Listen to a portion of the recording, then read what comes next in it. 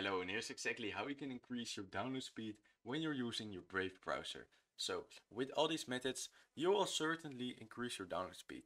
Now the first thing that we must try is to open up a new tab and then here search for Brave. Then uh, these uh, two dots and then we type these two little uh, slash things and then type flags. So if you now press enter, you will come to this page. These are all the features that Brave browser supports, but they're not out to the public yet. They are in beta, so you can use them at your own risk. Now, we're gonna search on the top right here for parallel downloading parallel downloading and this is safe to, to uh, use and it's used to accelerate the download speed. So from default click this on enabled and now it says here you should relaunch the Brave browser. So Go ahead and do that, click on relaunch, and now it should be enabled.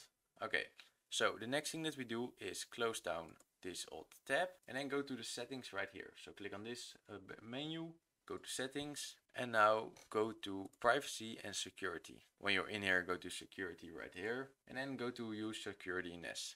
So usually it look well like so usually it will look like this and make sure that the use security DNS is on and then click on this one. So we're gonna use either the Google public DNS or the Cloudflare DNS.